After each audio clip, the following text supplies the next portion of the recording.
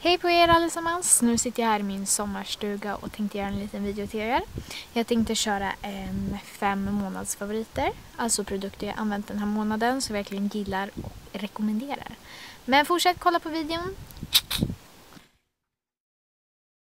Först är eh, Endless Sunset, en eh, Victoria's Secret Body Lotion och handkräm. Den luktar ljuvligt gott. Alltså det här är verkligen sommar i en förpackning för mig. Eh, lite kokos, lite mango tror jag den luktar och ja, underbar. Eh, och det är som bra att man även kan ha den som handkräm. Eh, ja, men jag tror det är eh, Victoria's Secrets nya kollektion. Jag vet inte riktigt. Men så här ser den ut i alla fall.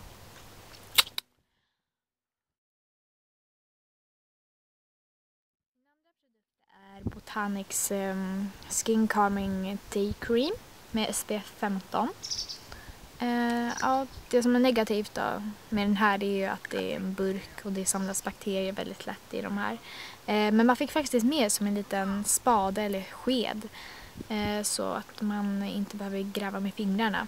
Den är anpassad för ehm, känslig hy. Jag har en bland hykänslig, ja jag vet inte typ tusan vad jag har för hy men eh, den fungerar jättebra och SPF 15 är ett måste nu på sommaren annars bränner jag mig. Så den älskar jag verkligen. Det är eh, Victoria's Secrets Shiny Lipgloss. Alltså det är underbart på läpparna. Det här är lite nudfärgat, lite rosa, lite glittrigt. Oh, luktar ljuvligt gott också. Eh, ja, men jag köpte ju det i Turkiet, eller på Bodrums flygplats. Eh, då fick jag ett kit med eh, flera stycken olika. Eh, men den här luktar superduper gott. Raspberry Cool heter den här. Love it! Sen så har vi Tea Tree Blemish Fade Night Lotion från eh, The Body Shop. Det är en kräm man applicerar på de områden man lätt får finnar och pormaskar. Alltså den här är så bra. Alltså den kyler ner liksom, den lugnar.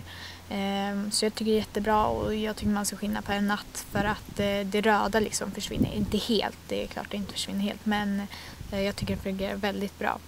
Eh, och eftersom jag blandar i får jag lätt finnar och sånt så den här är jätte, jättebra verkligen. 150 kronor på The Body Shop köpte jag den. Sen så har vi en klinik eh, ansiktskräm, solkräm med SPF 30 eh, ja det är det. Det är jättebra när man är utomlands och till och med i början här i Sverige på våren och sådär. Alltså, vi som bränner oss lätt, ja, ni vet hur det är.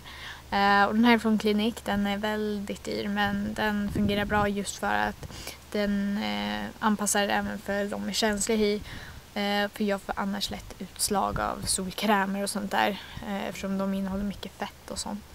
men den här fungerar jättebra, det är UVA och UVB-skydd i båda. Eller ja. Solar Smart tror jag den här serien heter. Finns i olika, finns mindre och mer solskyddsfaktor. Men den är jättebra verkligen. Så där, det var mina fem skönhetsfavoriter just den här månaden. Och om ni tyckte om videon får ni gärna göra tumme upp och kommentera vad ni vill ha för videos här på Youtube. Annars får ni ha det så bra så länge. Hej då!